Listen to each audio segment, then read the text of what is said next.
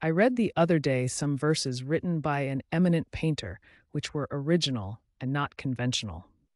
The soul always hears an admonition in such lines, let the subject be what it may.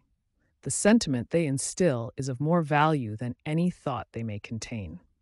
To believe your own thought, to believe that what is true for you in your private heart is true for all men, that is genius. Speak your latent conviction, and it shall be the universal sense. For the inmost in due time becomes the outmost, and our first thought is rendered back to us by the trumpets of the Last Judgment. Familiar as the voice of the mind is to each, the highest merit we ascribe to Moses, Plato, and Milton is that they set at naught books and traditions and spoke not what men, but what they thought. A man should learn to detect and watch that gleam of light which flashes across his mind from within, more than the luster of the firmament of bards and sages. Yet he dismisses without notice his thought because it is his. In every work of genius, we recognize our own rejected thoughts. They come back to us with a certain alienated majesty. Great works of art have no more affecting lesson for us than this. They teach us to abide by our spontaneous impression with good humored inflexibility, than most when the whole cry of voices is on the other side. Else tomorrow a stranger will say with masterly good sense precisely what we have thought and felt all the time and we shall be forced to take with shame our own opinion from another. There is a time in every man's education when he arrives at the conviction that envy is ignorance, that imitation is suicide, that he must take himself for better, for worse, as his portion, that though the wide universe is full of good, no kernel of nourishing corn can come to him but through his toil bestowed on that plot of ground which is given to him to till. The power which resides in him is new in nature, and none but he knows what that is which he can do, nor does he know until he has tried. Not for nothing, one face, one character, one fact makes much impression on him, and another none. This sculpture in the memory is not without pre established harmony. The eye was placed where one ray should fall, that it might testify of that particular ray we but half express ourselves and are ashamed of that divine idea which each of us represents. It may be safely trusted as proportionate and of good issues, so it be faithfully imparted, but God will not have his work made manifest by cowards. A man is relieved and gay when he has put his heart into his work and done his best, but what he has said or done otherwise shall give him no peace. It is a deliverance which does not deliver. In the attempt, his genius deserts him, no muse befriends, no invention, no hope. Trust thyself. Every heart vibrates to that iron string. Accept the place the divine providence has found for you, the society of your contemporaries, the connection of events. Great men have always done so and confided themselves childlike to the genius of their age, betraying their perception that the absolutely trustworthy was seated at their heart, working through their hands, predominating in all their being, and we are now men, and must accept in the highest mind the same transcendent destiny, and not minors and invalids in a protected corner, not cowards fleeing before a revolution, but guides, redeemers, and benefactors, obeying the almighty effort and advancing on chaos and the dark. What pretty oracles nature yields us on this text in the face and behavior of children, babes, and even brutes. That divided and rebel mind, that distrust of a sentiment because our arithmetic has computed the strength and means opposed to our purpose, these have not. Their mind being whole, their eye is as yet unconquered, and when we look in their faces, we are disconcerted. Infancy conforms to nobody, all conform to it, so that one babe commonly makes four or five out of the adults who prattle and play to it. So God has armed youth and puberty and manhood no less with its own piquancy and charm, and made it enviable and gracious and its claims not to be put by if it will stand by itself. Do not think the youth has no force because he cannot speak to you and me. Hark, in the next room his voice is sufficiently clear and emphatic. It seems he knows how to speak to his contemporaries. Bashful or bold, then, he will know how to make us seniors very unnecessary.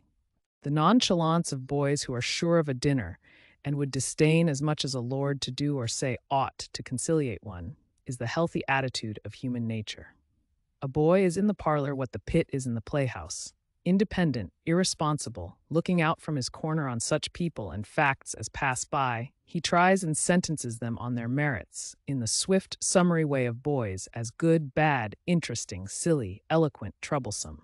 He cumbers himself never about consequences, about interests. He gives an independent, genuine verdict. You must court him. He does not court you. But the man is as it were clapped into jail by his consciousness. As soon as he has once acted or spoken with eclat, he is a committed person, watched by the sympathy or the hatred of hundreds, whose affections must now enter into his account. There is no Lethe for this. Ah, that he could pass again into his neutrality!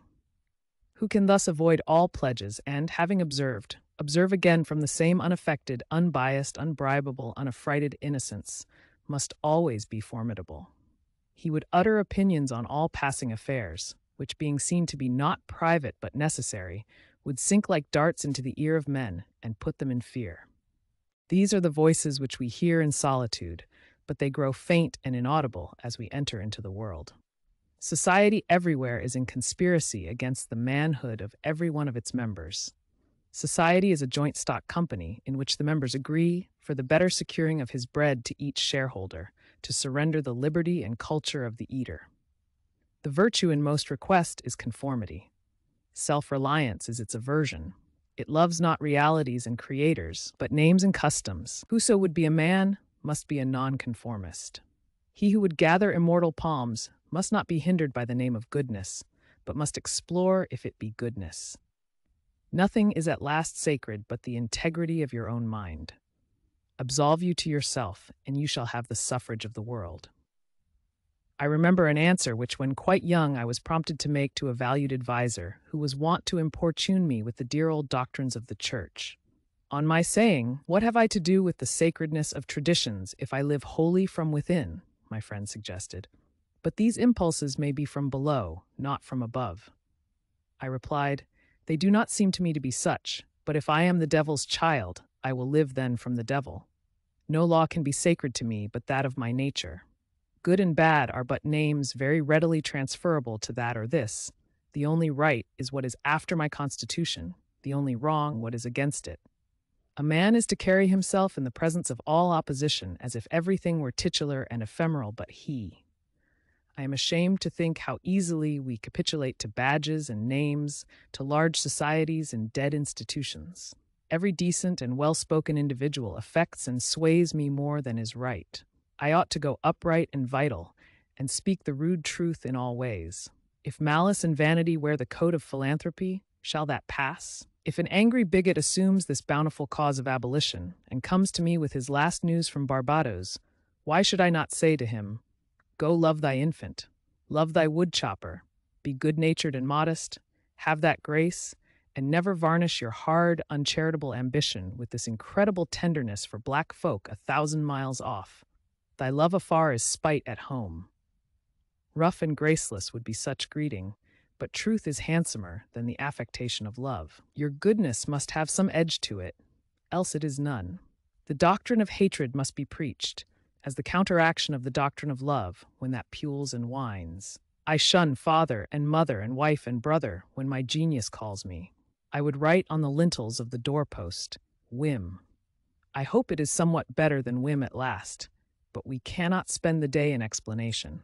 Expect me not to show cause why I seek or why I exclude company. Then again, do not tell me, as a good man did today, of my obligation to put all poor men in good situations. Are they my poor? I tell thee, thou foolish philanthropist, that I grudge the dollar, the dime, the cent. I give to such men as do not belong to me and to whom I do not belong. There is a class of persons to whom, by all spiritual affinity, I am bought and sold. For them I will go to prison if need be. But your miscellaneous popular charities, the education at College of Fools, the building of meeting houses to the vain end to which many now stand, alms to sots, and the thousandfold relief societies. Though I confess with shame I sometimes succumb and give the dollar, it is a wicked dollar which by and by I shall have the manhood to withhold. Virtues are, in the popular estimate, rather the exception than the rule. There is the man and his virtues. Men do what is called a good action, as some piece of courage or charity, much as they would pay a fine in expiation of daily non appearance on parade. Their works are done as an apology or extenuation of their living in the world, as invalids and the insane pay a high board. Their virtues are penances. I do not wish to expiate, but to live. My life is for itself and not for a spectacle. I much prefer that it should be of a lower strain, so it be genuine and equal, than that it should be glittering and unsteady. I wish it to be sound and sweet, and not to need diet and bleeding. I ask primary evidence that you are a man, and refuse this appeal from the man to his actions. I know that for myself it makes no difference whether I do or forbear those actions which are reckoned excellent. I cannot consent to pay for a privilege where I have intrinsic right. Few and mean as my gifts may be, I actually am, and do not need for my own assurance or the assurance of my fellows any secondary testimony. What I must do is all that concerns me, not what the people think. This rule, equally arduous in actual and in intellectual life, may serve for the whole distinction between greatness and meanness. It is the harder because you will always find those who think they know what is your duty better than you know it. It is easy in the world to live after the world's opinion. It is easy in solitude to live after our own. But the great man is he who, in the midst of the crowd, keeps with perfect sweetness the independence of solitude. The objection to conforming to usages that have become dead to you is that it scatters your force. It loses your time and blurs the impression of your character. If you maintain a dead church, contribute to a dead Bible society, vote with a great party either for the government or against it, spread your table like base housekeepers. Under all these screens, I have difficulty to detect the precise man you are. And of course, so much force is withdrawn from your proper life. But do your work, and I shall know you. Do your work, and you shall reinforce yourself. A man must consider what a blind man's buff is this game of conformity. If I know your sect, I anticipate your argument. I hear a preacher announce for his text and topic the expediency of one of the institutions of his church. Do I not know beforehand that not possibly can he say a new and spontaneous word? Do I not know that with all this ostentation of examining the grounds of the institution, he will do no such thing? Do I not know that he has pledged to himself not to look but at one side, the permitted side, not as a man, but as a parish minister? He is a retained attorney, and these airs of the bench are the emptiest affectation. Well, most men have bound their eyes with one or another handkerchief and attached themselves to some one of these communities of opinion. This conformity makes them not false in a few particulars, authors of a few lies, but false in all particulars. Their every truth is not quite true. Their two is not the real two, their four not the real four, so that every word they say chagrins us, and we know not where to begin to set them right. Meantime, nature is not slow to equip us in the prison uniform of the party to which we adhere. We come to wear one cut of face and figure, and acquire by degrees the gentlest asinine expression. There is a mortifying experience in particular, which does not fail to wreak itself also in the general history, I mean the foolish face of praise, the forced smile which we put on in company where we do not feel at ease in answer to conversation which does not interest us. The muscles, not spontaneously moved, but moved by a low usurping willfulness, grow tight about the outline of the face with the most disagreeable sensation. For nonconformity, the world whips you with its displeasure, and therefore a man must know how to estimate a sour face, the bystanders look askance on him in the public street or in the friend's parlor. If this aversation had its origin in contempt and resistance like his own, he might well go home with a sad countenance. But the sour faces of the multitude, like their sweet faces, have no deep cause, but are put on and off as the wind blows and a newspaper directs. Yet is the discontent of the multitude more formidable than that of the Senate and the college. It is easy enough for a firm man who knows the world to brook the rage of the cultivated classes. Their rage is decorous and prudent, for they are timid, as being very vulnerable themselves. But when to their feminine rage the indignation of the people is added, when the ignorant and the poor are aroused, when the unintelligent brute force that lies at the bottom of society is made to growl and mow, It needs the habit of magnanimity and religion to treat it godlike as a trifle of no concernment. The other terror that scares us from self trust is our consistency, a reverence for our past act or word, because the eyes of others have no other data for computing our orbit than our past acts, and we are loath to disappoint them. But why should you keep your head over your shoulder? Why drag about this corpse of your memory, lest you contradict somewhat you have stated in this or that public place? Suppose you should contradict yourself. What then? It seems to be a rule of wisdom never to rely on your memory alone, scarcely even in acts of pure memory, but to bring the past for judgment into the thousand eyed present and live ever in a new day. In your metaphysics, you have denied personality to the deity, yet when the devout motions of the soul come, yield to them heart and life, though they should clothe God with shape and color. Leave your theory as Joseph his coat in the hand of the harlot and flee. A foolish consistency is the hobgoblin of little minds, adored by little statesmen and philosophers and divines. With consistency, a great soul has simply nothing to do. He may as well concern himself with his shadow on the wall.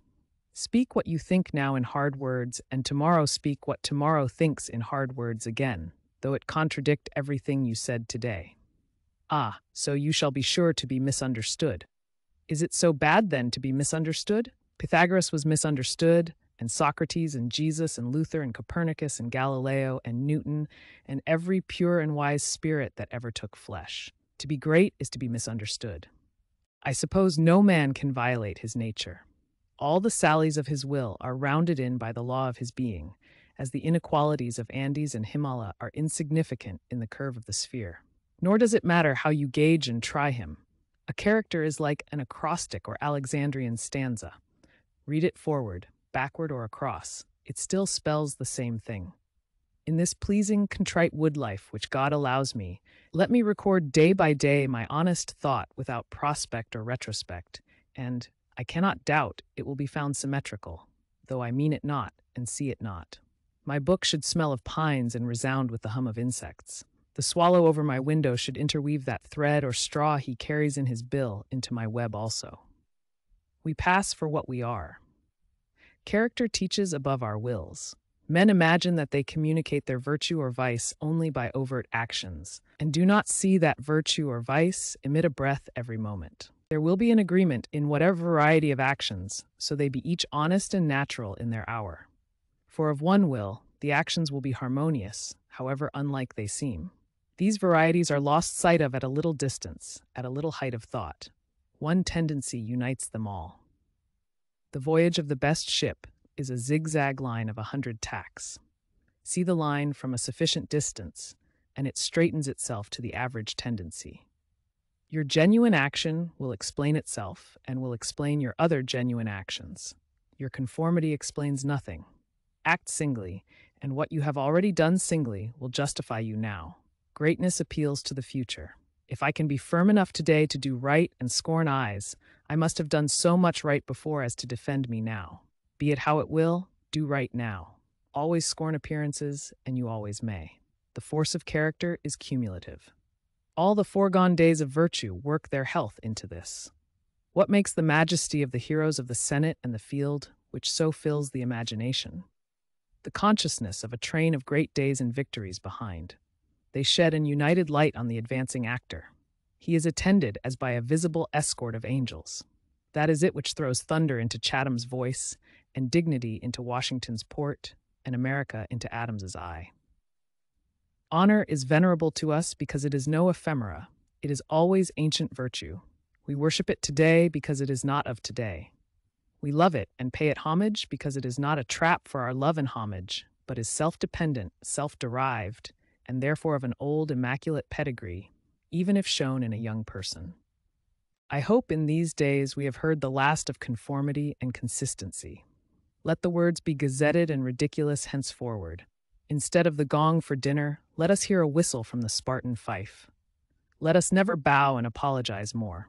A great man is coming to eat at my house. I do not wish to please him. I wish that he should wish to please me. I will stand here for humanity, and though I would make it kind, I would make it true. Let us affront and reprimand the smooth mediocrity and squalid contentment of the times, and hurl in the face of custom and trade and office the fact which is the upshot of all history, that there is a great responsible thinker and actor working wherever a man works, that a true man belongs to no other time or place, but is the center of things. Where he is, there is nature. He measures you and all men and all events. Ordinarily, every body in society reminds us of somewhat else, or of some other person. Character, reality, reminds you of nothing else. It takes place of the whole creation. The man must be so much that he must make all circumstances indifferent. Every true man is a cause, a country, and an age, requires infinite spaces and numbers and time fully to accomplish his design, and posterity seem to follow his steps as a train of clients. A man Caesar is born, and for ages after we have a Roman Empire. Christ is born, and millions of minds so grow and cleave to his genius that he is confounded with virtue and the possible of man. An institution is the lengthened shadow of one man, as monachism of the hermit Antony, the Reformation of Luther, Quakerism of Fox, Methodism of Wesley, abolition of Clarkson. Scipio Milton called the height of Rome, and all history resolves itself very easily into the biography of a few stout and earnest persons. Let a man then know his worth, and keep things under his feet.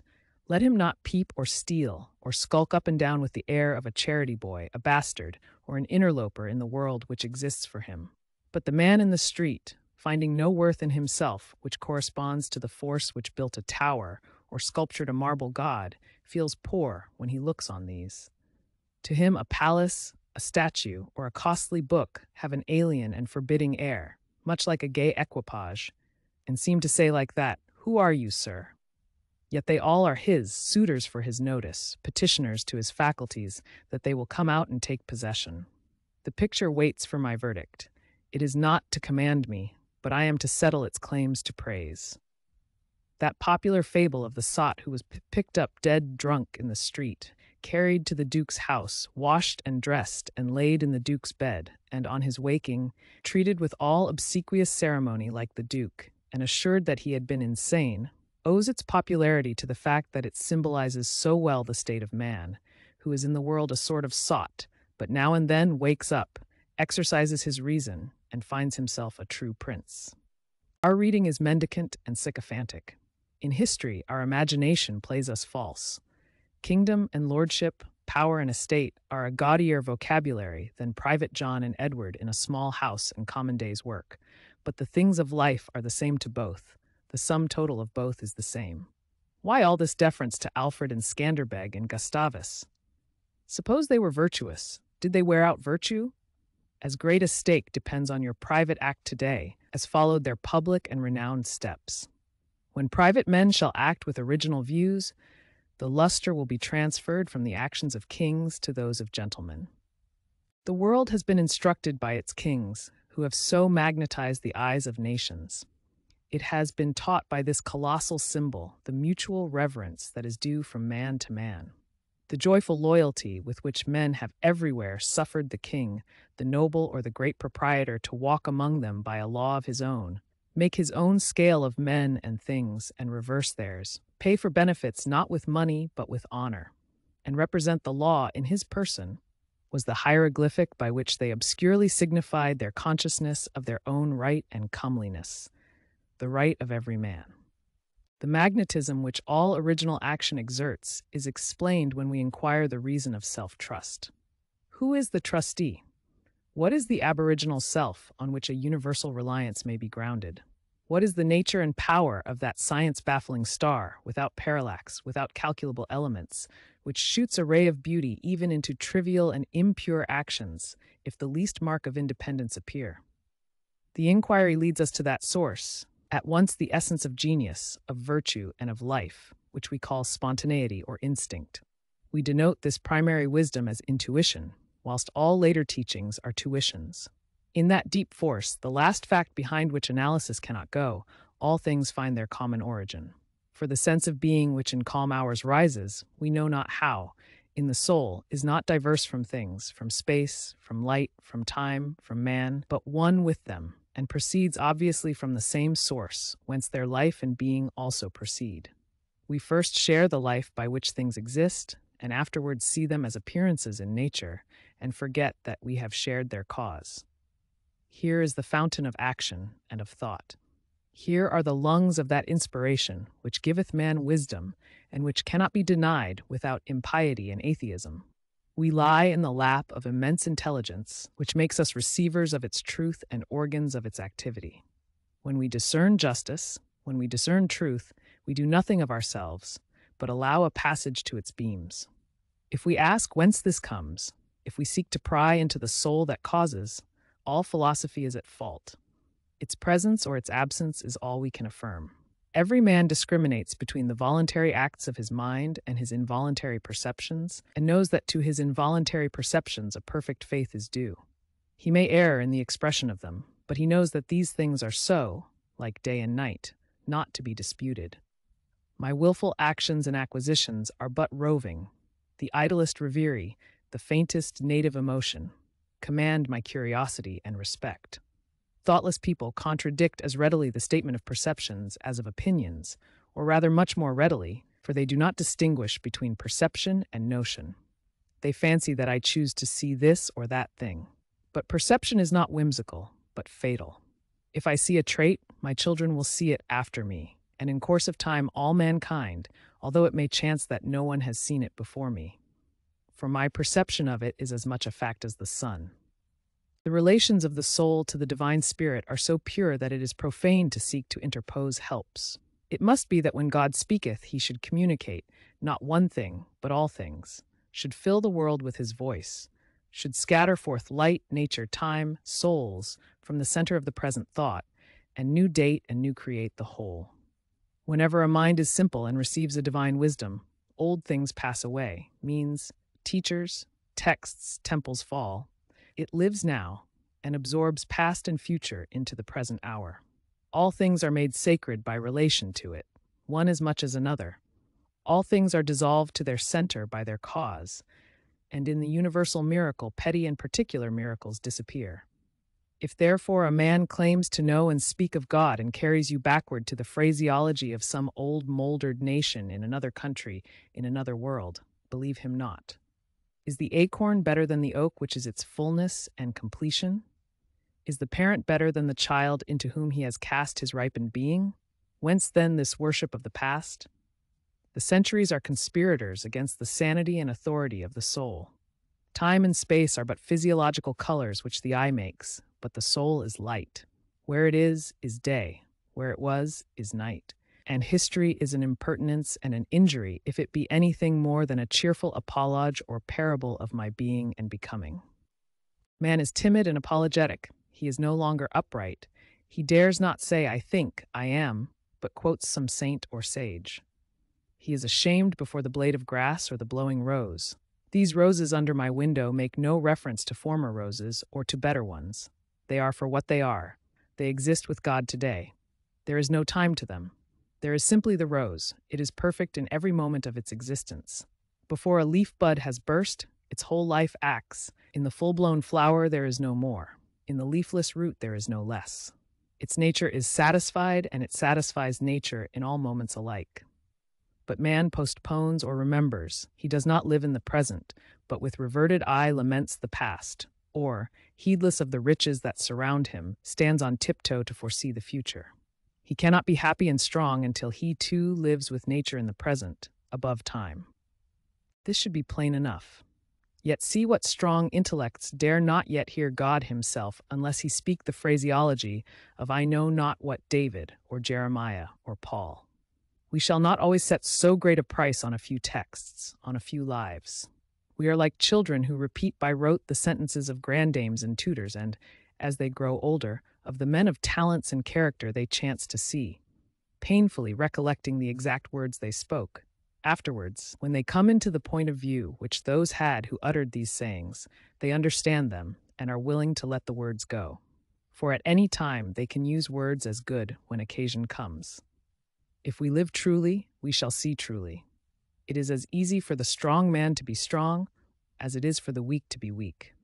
When we have new perception, we shall gladly disburden the memory of its hoarded treasures as old rubbish. When a man lives with God, his voice shall be as sweet as the murmur of the brook and the rustle of the corn. And now at last the highest truth on this subject remains unsaid, probably cannot be said, for all that we say is the far off remembering of the intuition. That thought, by what I can now nearest approach to say it, is this When good is near you, when you have life in yourself, it is not by any known or accustomed way. You shall not discern the footprints of any other you shall not see the face of man. You shall not hear any name. The way, the thought, the good shall be wholly strange and new.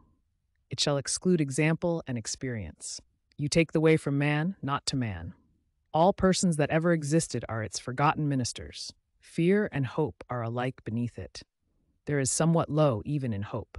In the hour of vision, there is nothing that can be called gratitude, nor properly joy. The soul raised over passion beholds identity and eternal causation, perceives the self existence of truth and right, and calms itself with knowing that all things go well.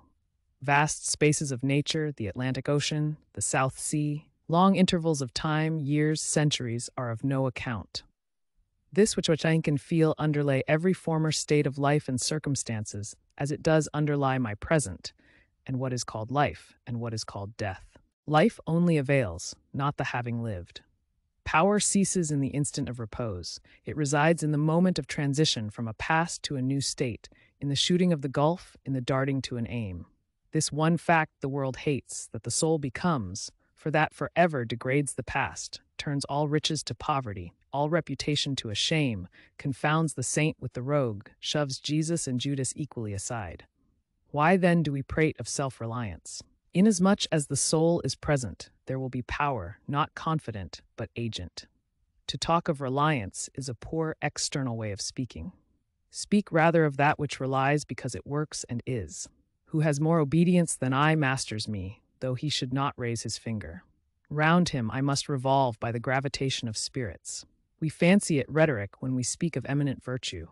We do not yet see that virtue is height, and that a man or a company of men, plastic and permeable to principles, by the law of nature must overpower and ride all cities, nations, kings, rich men, poets who are not. This is the ultimate fact which we so quickly reach on this, as on every topic, the resolution of all into the ever blessed one.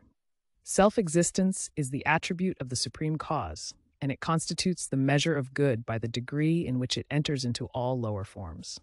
All things real are so by so much virtue as they contain. Commerce, husbandry, hunting, whaling, war, eloquence, personal weight are somewhat, and engage my respect as examples of its presence and impure action. I see the same law working in nature for conservation and growth. Power is, in nature, the essential measure of right. Nature suffers nothing to remain in her kingdoms which cannot help itself.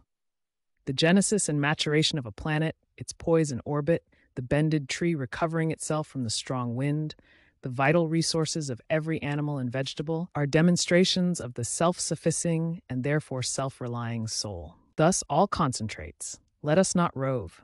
Let us sit at home with the cause. Let us stun and astonish the intruding rabble of men and books and institutions by a simple declaration of the divine fact. Bid the invaders take the shoes from off their feet, for God is here within. Let our simplicity judge them, and our docility to our own law demonstrate the poverty of nature and fortune beside our native riches. But now we are a mob. Man does not stand in awe of man, nor is his genius admonished to stay at home, to put itself in communication with the internal ocean, but it goes abroad to beg a cup of water of the urns of other men. We must go alone. I like the silent church before the service begins, better than any preaching. How far off, how cool, how chaste the persons look, begirt each one with a precinct or sanctuary, so let us always sit. Why should we assume the faults of our friend, or wife, or father, or child, because they sit around our hearth, or are said to have the same blood? All men have my blood, and I have all men's. Not for that will I adopt their petulance or folly, even to the extent of being ashamed of it. But your isolation must not be mechanical, but spiritual, that is, must be elevation. At times, the whole world seems to be in conspiracy to importune you with emphatic trifles. Friend, client, child, sickness, fear, want, charity, all knock at once at thy closet door and say, Come out unto us. But keep thy state, come not into their confusion. The power men possess to annoy me, I give them by a weak curiosity. No man can come near me but through my act. What we love that we have, but by desire we bereave ourselves of the love. If we cannot at once rise to the sanctities of obedience and faith, let us at least resist our temptations. Let us enter into the state of war and wake Thor and Woden, courage and constancy in our Saxon breasts. This is to be done in our smooth times by speaking the truth. Check this lying hospitality and lying affection. Live no longer to the expectation of these deceived and deceiving people with whom we converse. Say to them, O father, O mother, O wife, O brother, O friend, I have lived with you after appearances hitherto. Henceforward I am the truth's. Be it known unto you that henceforward I obey no law less than the eternal law. I will have no covenants but proximities. I shall endeavor to nourish my parents, to support my family, to be the chaste husband of one wife. But these relations I must fill after a new and unprecedented way. I appeal from your customs. I must be myself. I cannot break myself any longer for you or you. If you can love me for what I am, we shall be the happier. If you cannot, I will still seek to deserve that you should. I will not hide my tastes or aversions. I will so trust that what is deep is holy, that I will do strongly before the sun and moon whatever inly rejoices me and the heart appoints. If you are noble, I will love you. If you are not, I will not hurt you and myself by hypocritical attentions. If you are true, but not in the same truth with me, cleave to your companions. I will seek my own. I do this not selfishly, but humbly and truly. It is alike your interest and mine and all men's, however long we have dwelt in lies, to live in truth. Does this sound harsh today? You will soon love what is dictated by your nature as well as mine, and if we follow the truth, it will bring us out safe at last. But so may you give these friends pain. Yes, but I cannot sell my liberty and my power to save their sensibility. Besides, all persons have their moments of reason when they look out into the region of absolute truth. Then will they justify me and do the same thing. The populace think that your rejection of popular standards is a rejection of all standard and mere antinomianism, and the bold sensualist will use the name of philosophy to gild his crimes. But the law of consciousness abides. There are two confessionals, in one or the other of which we must be shriven. You may fulfill your round of duties by clearing yourself in the direct or in the reflex way. Consider whether you have satisfied your relations to father, mother, cousin, neighbor, town, cat, and dog, whether any of these can upbraid you. But I may also neglect this reflex standard and absolve me to myself. I have my own stern claims and perfect circle. It denies the name of duty to many offices that are called duties. But if I can discharge its debts, it enables me to dispense with the popular code. If anyone imagines that this law is lax, let him keep its commandment one day.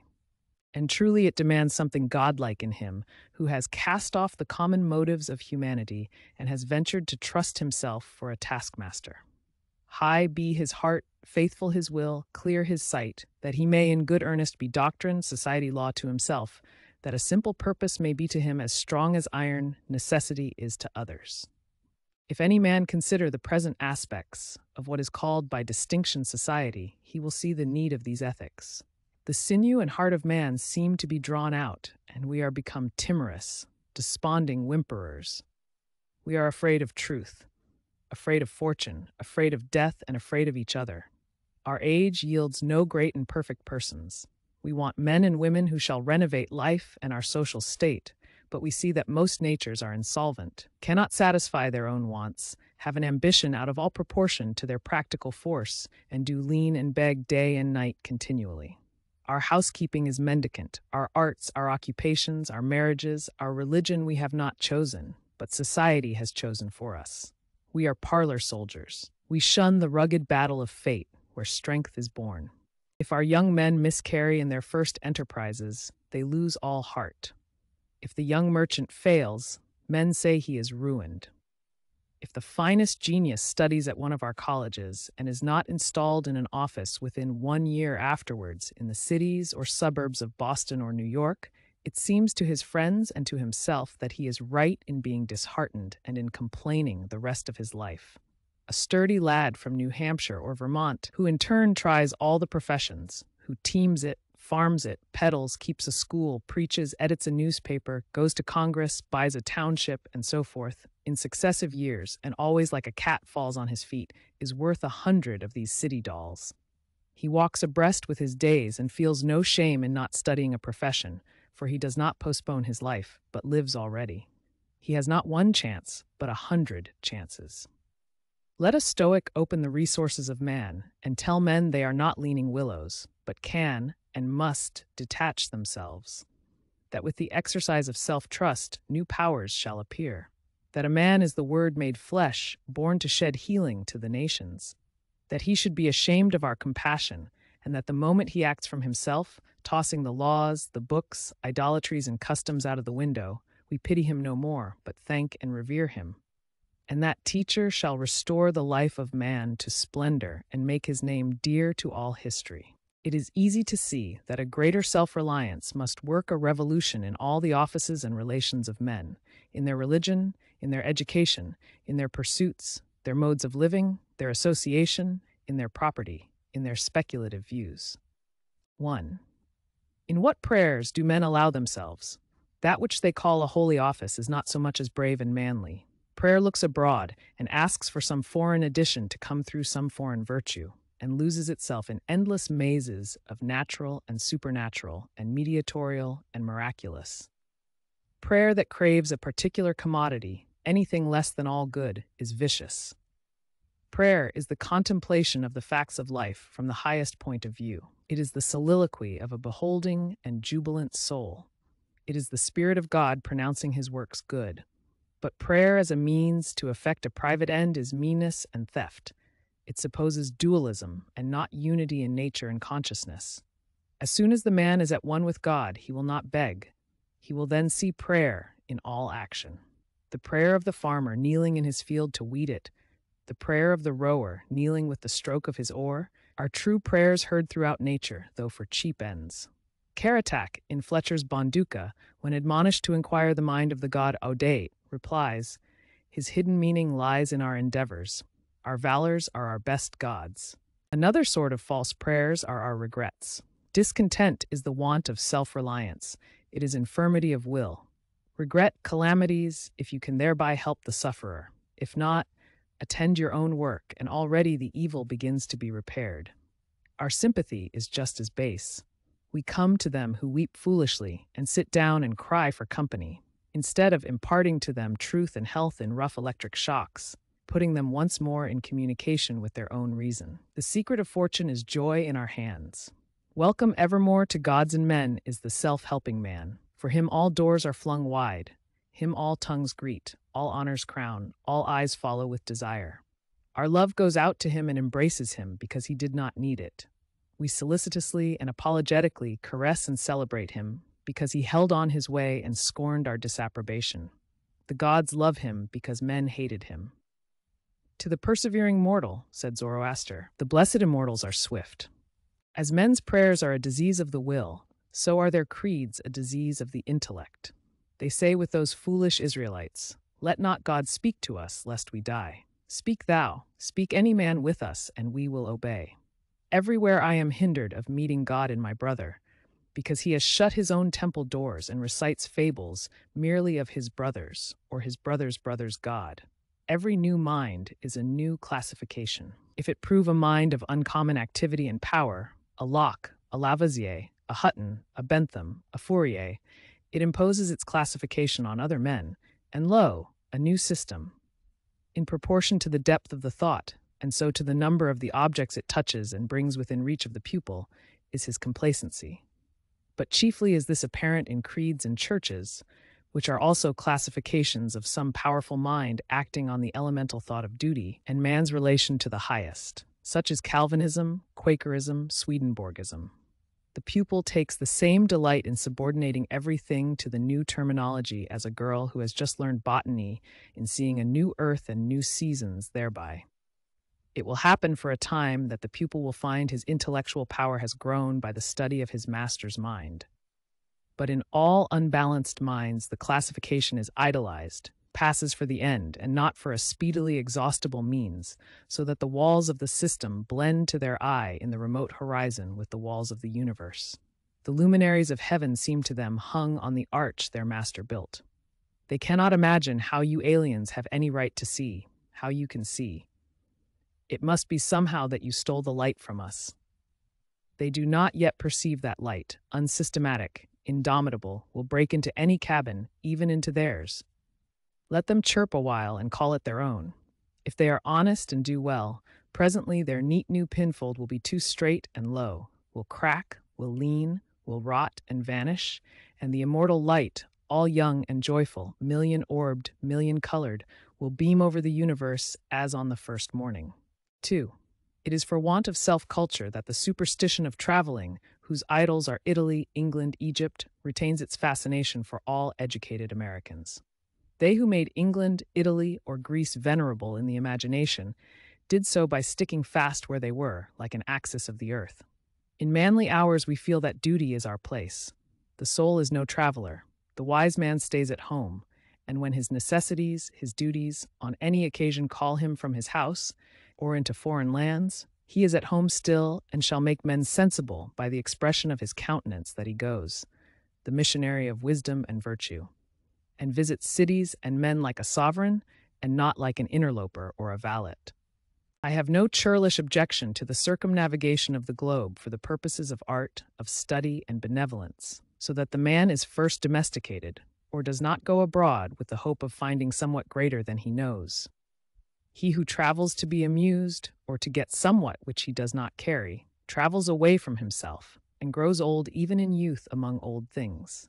In Thebes, in Palmyra, his will and mind have become old and dilapidated as they. He carries ruins to ruins. Traveling is a fool's paradise. Our first journeys discover to us the indifference of places.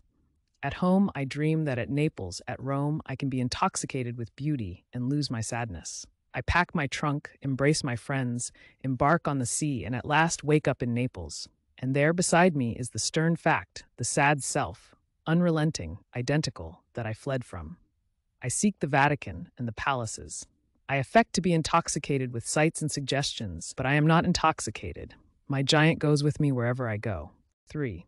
But the rage of traveling is a symptom of a deeper unsoundness affecting the whole intellectual action. The intellect is vagabond, and our system of education fosters restlessness. Our minds travel when our bodies are forced to stay at home. We imitate, and what is imitation but the traveling of the mind? Our houses are built with foreign taste. Our shelves are garnished with foreign ornaments. Our opinions, our tastes, our faculties lean and follow the past and the distant. The soul created the arts wherever they have flourished. It was in his own mind that the artist sought his model. It was an application of his own thought to the thing to be done and the conditions to be observed. And why need we copy the Doric or the Gothic model?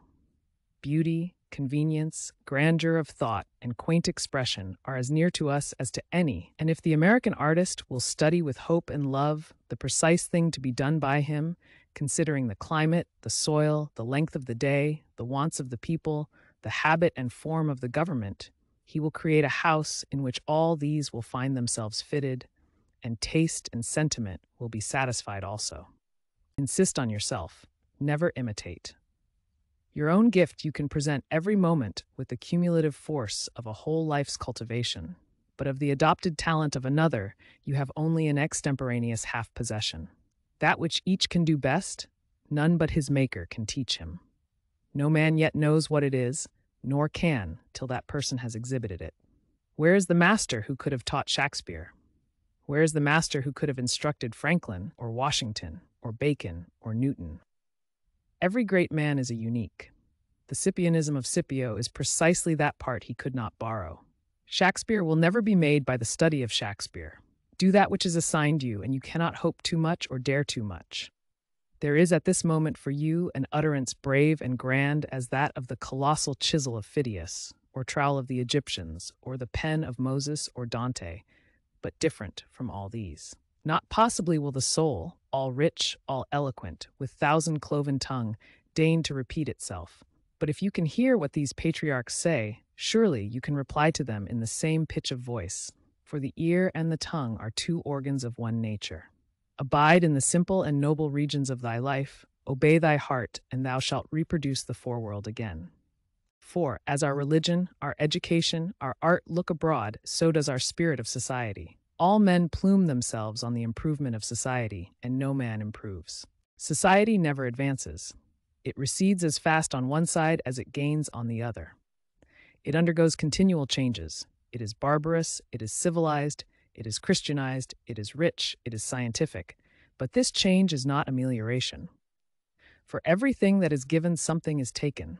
Society acquires new arts and loses old instincts. What a contrast between the well clad, reading, writing, thinking American with a watch, a pencil, and a bill of exchange in his pocket, and the naked New Zealander, whose property is a club, a spear, a mat, and an undivided twentieth of a shed to sleep under. But compare the health of the two men, and you shall see that the white man has lost his aboriginal strength. If the traveler tell us truly, strike the savage with a broad axe, and in a day or two the flesh shall unite and heal as if you struck the blow into soft pitch, and the same blow shall send the white to his grave. The civilized man has built a coach, but has lost the use of his feet. He is supported on crutches, but lacks so much support of muscle. He has a fine Geneva watch, but he fails of the skill to tell the hour by the sun. A Greenwich nautical almanac he has, and so being sure of the information when he wants it, the man in the street does not know a star in the sky. The solstice he does not observe. The equinox he knows as little. And the whole bright calendar of the year is without a dial in his mind. His notebooks impair his memory. His libraries overload his wit. The insurance office increases the number of accidents and it may be a question whether machinery does not encumber, whether we have not lost by refinement some energy, by a Christianity entrenched in establishments and forms some vigor of wild virtue. For every Stoic was a Stoic, but in Christendom, where is the Christian? There is no more deviation in the moral standard than in the standard of height or bulk. No greater men are now than ever were. A singular equality may be observed between the great men of the first and of the last ages, nor can all the science, art, religion, and philosophy of the 19th century avail to educate greater men than Plutarch's heroes, three or four and twenty centuries ago. Not in time is the race progressive. Phocion, Socrates, Anaxagoras, Diogenes are great men, but they leave no class. He who is really of their class will not be called by their name, but will be his own man, and in his turn the founder of a sect. The arts and inventions of each period are only its costume and do not invigorate men. The harm of the improved machinery may compensate its good. Hudson and Bering accomplished so much in their fishing boats as to astonish Parry and Franklin, whose equipment exhausted the resources of science and art. Galileo, with an opera glass, discovered a more splendid series of celestial phenomena than any one since. Columbus found the New World in an undecked boat. It is curious to see the periodical disuse and perishing of means and machinery, which were introduced with loud laudation a few years or centuries before. The great genius returns to essential man. We reckon the improvements of the art of war among the triumphs of science, and yet Napoleon conquered Europe by the bivouac, which consisted of falling back on naked valor and disencumbering it of all aids. The emperor held it impossible to make a perfect army, says Las Casas, without abolishing our arms, magazines, commissaries, and carriages, until, in imitation of the Roman custom, the soldier should receive his supply of corn, grind it in his hand mill, and bake his bread himself. Society is a wave. The wave moves onward, but the water of which it is composed does not. The same particle does not rise from the valley to the ridge. Its unity is only phenomenal. The persons who make up a nation today, next year die, and their experience with them. And so the reliance on property, including the reliance on governments which protect it, is the want of self reliance.